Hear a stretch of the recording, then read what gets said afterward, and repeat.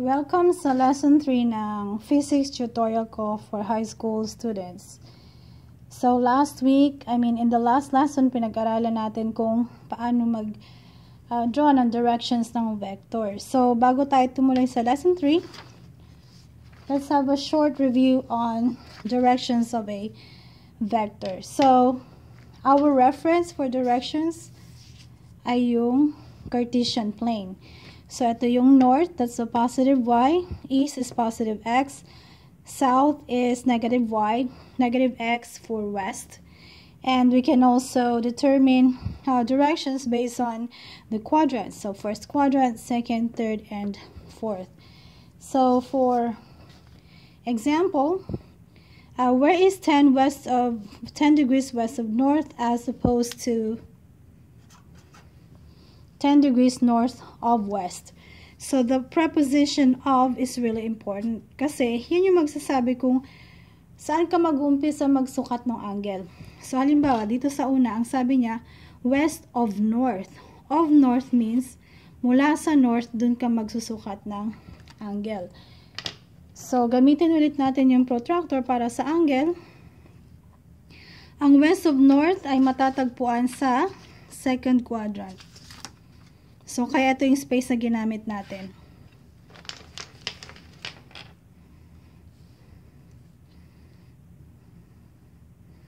So, 10 degrees west of north. So, from north, 10 degrees. Ito yung mark para sa 10 degrees.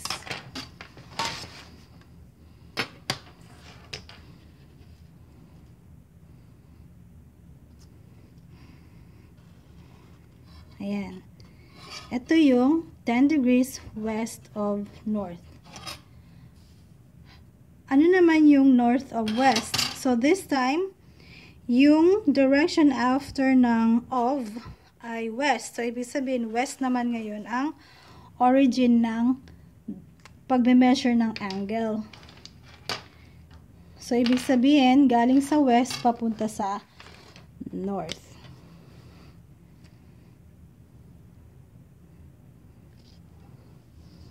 So, andito yung 10 degrees.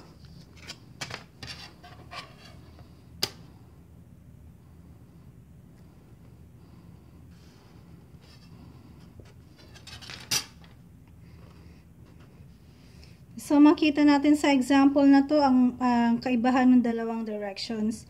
Although pareho sila na nasa uh, second quadrant, iba pa rin yung location. Kaya kung magbibigay ka ng direction, Sinabi mo lang na 10 degrees. Ang ibig mong bang sabihin west of north or north of west? Kailangan natin maging specific. So, pupunta na tayo dun sa lesson 3. Paano natin i-draw ang vector kung i-consider na natin yung pati yung magnitude niya. Halimbawa, ang vector na i-draw natin ay displacement. Kung saan ang magnitude niya ay 100 say, kilometers, papunta siya sa um, east. Okay? Kung titingnan natin yung papel natin maliit, paano natin maiguguhit ang 100 kilometers? So, dyan na tayo gagamit ng tinatawag na scale. Pag, sa paggamit ng scale, pipili ka lang ng unit na meron ka dun sa panukat mo.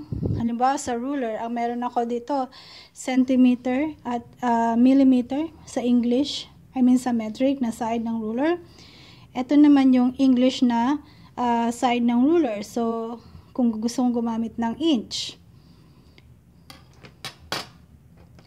Para sa example na to, gagamit ako ng scale na 1 centimeter is to 10 kilometers. So, bawat isang sentimetro katumbas ng 10 kilometro. So, kung ganito ang scale ko, ilang kilometro ang dapat kong sukatin? Okay, tingnan natin. 100 kilometers ang gusto nating sukatin. Ilang centimeters yan? So, sabi natin, 1 centimeter is to 10 kilometers. Conversion lang to na problem. So, kilometer and kilometer will cancel out. So, anong mangyayari? So, that's 100 times 1 is 100 divided by 10 is 10.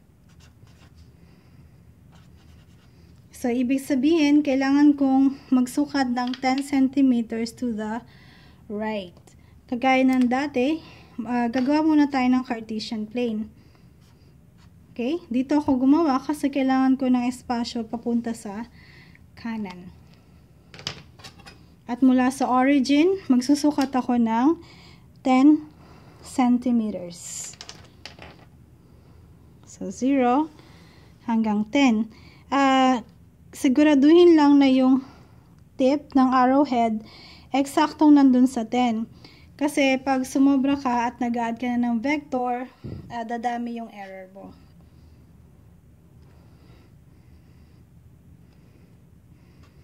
So, ito ulit yung segments.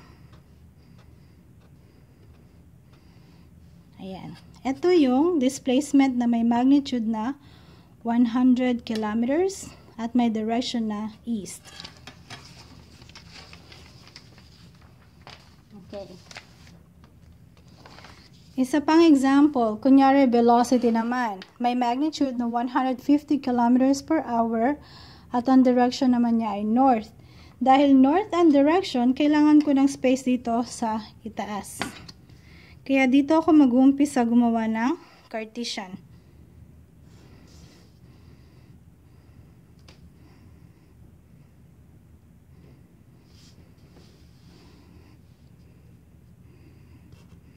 Ayan. Ano namang scale ang gagamitin ko this time? So, um, Kapag gumamit ako, halimbawa, sinabi ko gusto ko uh, 1 cm is to 1 km per hour. Kakasya ba yan sa papel? Kasi kung ang ratio ko ay 1 is to 1, magme-measure ako dapat ng 150 centimeters. At obviously, hindi kasya yung papel natin. So, gagamitin ko ulit yung scale na ginamit ko kanina. Na ang 1 centimeter ay um, 10 kilometers per hour. Okay, yan yung gagamitin ko. Pero, pwede pa bang gumamit ng ibang scale? Siyempre, pwede rin naman. Halimbawa, tinatamad ka, gusto mo maiksi lang talaga. 1 cm, kung gusto mo ay 100 kilometers per hour. So, ibig sabihin, mas maiksi ang susukatin mo kasi ang isang sentimetro, 100 na kaagad. Pero, hindi masyadong maganda to na choice. Okay? Lalo na kapag nag add ka na ng vectors. Okay? So, ito yung gagamitin natin. So, magme-measure ako pataas ng ilan? 15. Okay? Kasi 150 divided by 10 ay 15.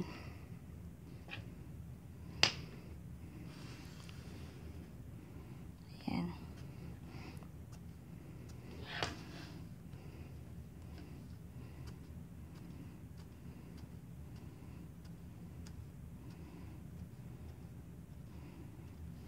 Ayan. Ito na yung vector na may magnitude na 150 kilometers per hour papunta sa north.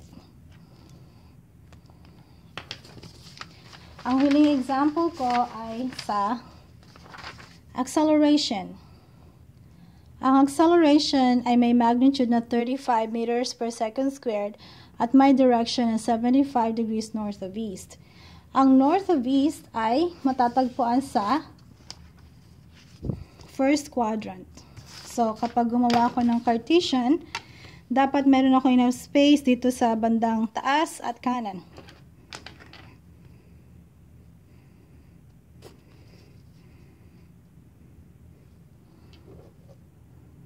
Ayan. At dahil may angle, una kong susukatin yung angle na 75 degrees. North of east yan, kaya ibig sabihin galing ako sa east, saka ako magme-measure ng 75. So, andito yung 70, ito yung 75. So, dyan ko na ngayon itatapat yung ruler.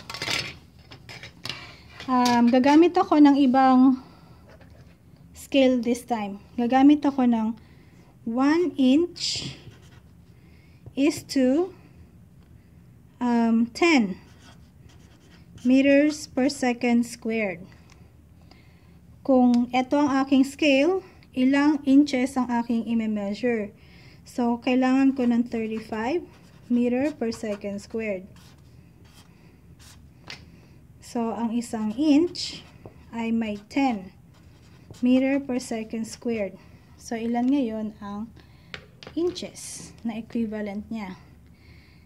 Cancel mo yung unit na yan. So, 35 times 1 is 35.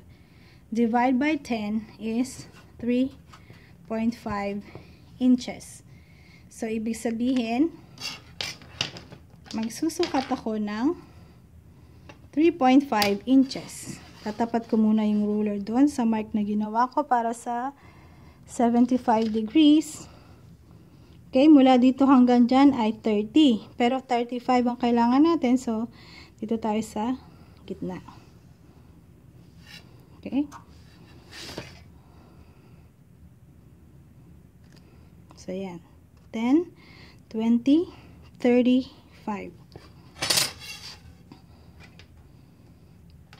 Okay, para mas madali ulit makita yung um, angle. so, ang 35 degrees, I mean 75 degrees north of east ay nandito. North of east, ito yan. Okay?